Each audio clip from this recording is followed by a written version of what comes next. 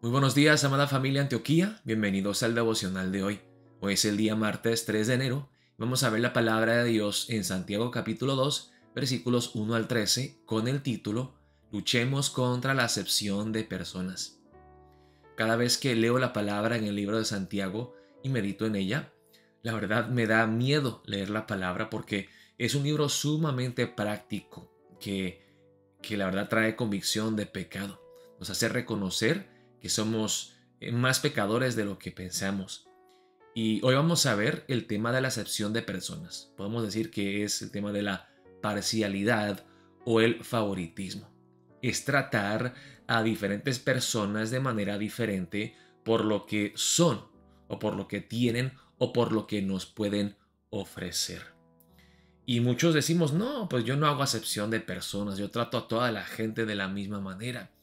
Pero si verdaderamente eh, pensamos y meditamos en la palabra y examinamos nuestros propios corazones, tenemos que reconocer que sí hacemos acepción de personas. Vamos a ver la palabra de Dios empezando en el versículo 1. Dice la palabra de Dios así. Dice, amonestación contra la parcialidad.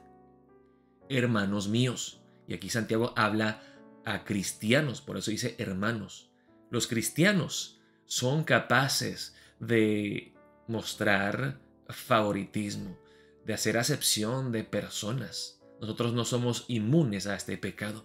Dice, hermanos míos, que vuestra fe en nuestro glorioso Señor Jesucristo sea sin acepción de personas. Porque si en vuestra congregación entra un hombre con anillo de oro y con ropa espléndida, y también entra un pobre con vestido andrajoso, y miráis con agrado al que trae la ropa espléndida y le decís, siéntate tú aquí en buen lugar, y decís al pobre, estate tú allí en pie, o siéntate aquí bajo mi estrado. ¿No hacéis distinciones entre vosotros mismos y venís a ser jueces con malos pensamientos? Hermanos míos amados, oíd. ¿No ha elegido Dios a los pobres de este mundo para que sean ricos en fe y herederos del reino que ha prometido a los que le aman? Pero vosotros habéis afrentado al pobre. ¿No os oprimen los ricos? ¿Y no son ellos los mismos que os arrastran a los tribunales? ¿No blasfeman ellos el buen nombre que fue invocado sobre vosotros? Si en verdad cumplís la ley real, conforme a la escritura, amarás a tu prójimo como a ti mismo. Ouch. Bien hacéis. Pero si hacéis acepción de personas, cometéis pecado y quedáis convictos por la ley como transgresores. Ahora aquí eh, Santiago da un ejemplo que quizá era algo que ocurría muy a menudo en su tiempo en las iglesias que entraba un hombre rico y fuera y era tratado con respeto y reverencia. Oh hermano, ¿cómo está? Dios le bendiga. Pero luego llega otro hermano pobre, o quizá es un hermano un poco problemático, que no le cae tan bien a las personas.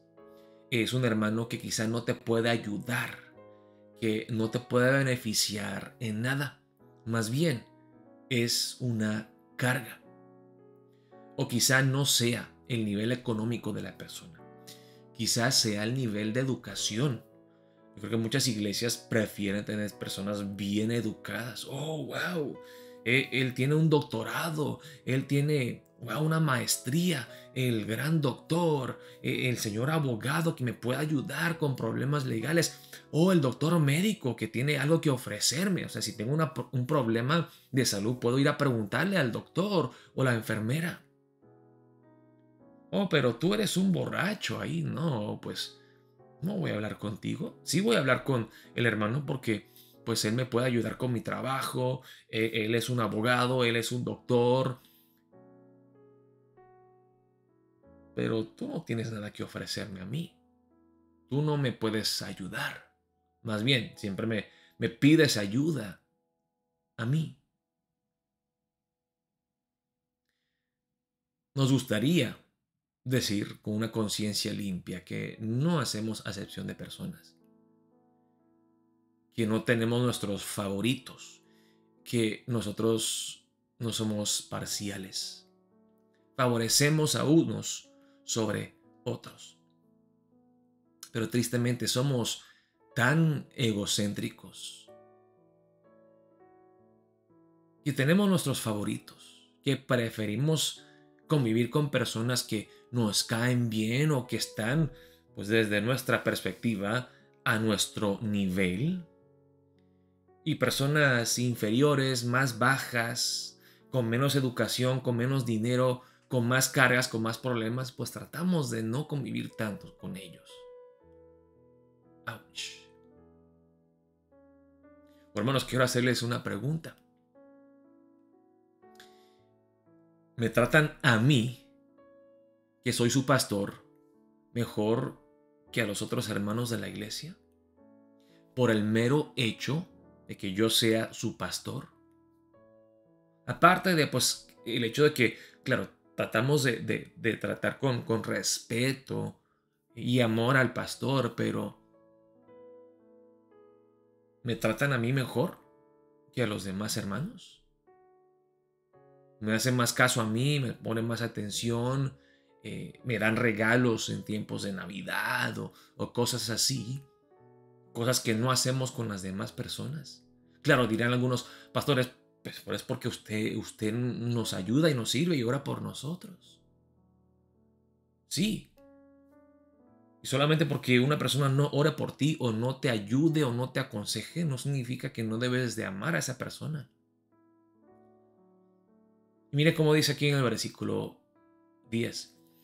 Porque cualquiera que guardare toda la ley, pero ofendiere en un punto, se hace culpable de todos. Porque el que dijo no cometerás adulterio también ha dicho no matarás. Ahora bien, si no cometes adulterio, pero matas, ya te has hecho transgresor de la ley. Así hablad y así haced como los que habéis de ser juzgados por la ley de la libertad. Porque juicio sin misericordia se hará con aquel que no hiciere misericordia, y la misericordia triunfa sobre el juicio. ¿Qué quiere decir aquí el último versículo? Porque juicio sin misericordia se hará con aquel que no hiciere misericordia, y la misericordia triunfa sobre el juicio.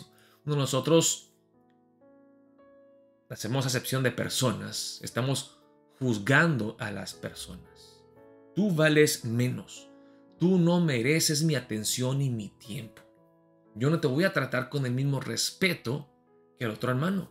Estamos juzgando a las personas, pero Dios nos manda a ser misericordiosos y si, pues, pudiera yo escoger un versículo que conecta este último versículo, el versículo 13, con la idea de, no eh, mostrar favoritismo, pues es la palabra aquí en Lucas 6, 27 al 36. El amor hacia los enemigos y la regla de oro.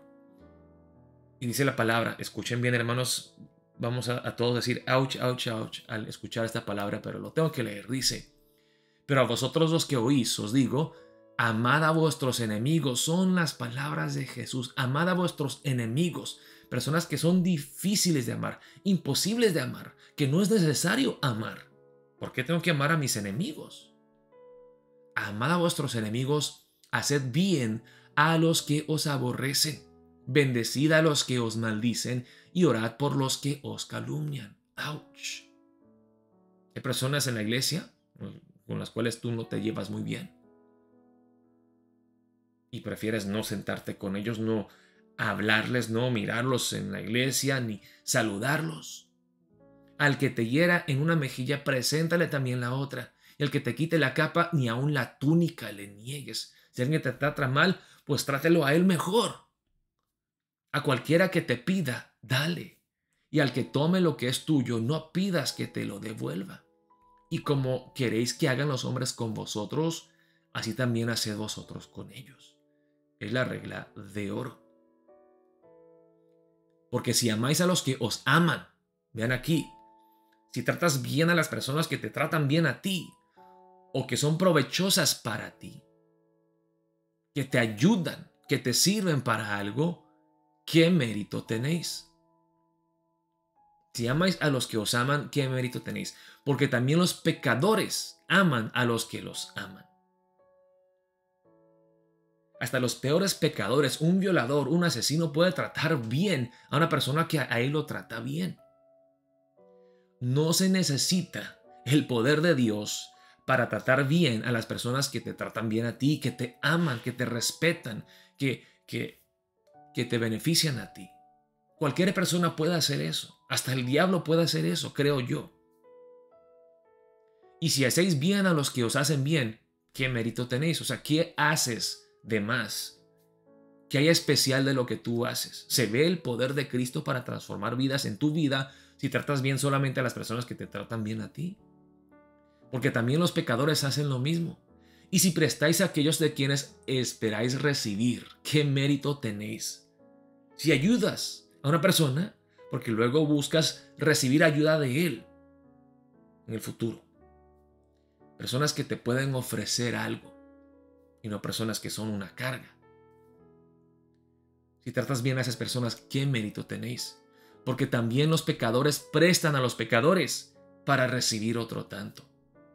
Amad pues a vuestros enemigos y haced bien, y prestad no esperando de ello nada, y será vuestro galardón grande, y seréis hijos del Altísimo, porque Él es benigno para con los ingratos y malos. Sed pues misericordiosos como también vuestro Padre es misericordioso contigo, conmigo, con nosotros. No juzguemos a las personas. No hagamos acepción de personas, seamos misericordiosos, amemos a las personas que menos lo merecen. Hermanos, yo confieso que es muy difícil para mí amar a personas problemáticas, conflictivas, personas que siempre necesitan, piden. Es difícil para mí. Pero luego me doy cuenta que ese soy yo con Dios, con Cristo. Yo siempre necesito algo de Él, yo siempre le pido, yo soy conflictivo, yo soy malagradecido. Yo me aprovecho de la gracia inmerecida de Cristo. Hermanos, vamos a empezar el día de hoy orando. Orando. Honestamente, fervientemente. Oh Señor, yo hago acepción de personas. Yo trato mejor a las personas que me tratan bien a mí o que me puedan ayudar o que me pueden beneficiar y hago a un lado a las personas que son más una carga causan más problemas. Ayúdame a seguir tu ejemplo, Cristo Jesús, a obedecer tu palabra cuando me dices que debo de amar a mis enemigos, dar sin esperar nada a cambio, ser misericordioso. Dame ese corazón tuyo, Cristo Jesús, ese corazón generoso, dadivoso, amoroso, lleno de gracia y misericordia. Oremos de esa manera para empezar el día de hoy Estaremos viéndonos hoy a las 7 y media de la noche en el segundo piso para nuestro culto presencial. Dios los bendiga, amada familia Antioquía.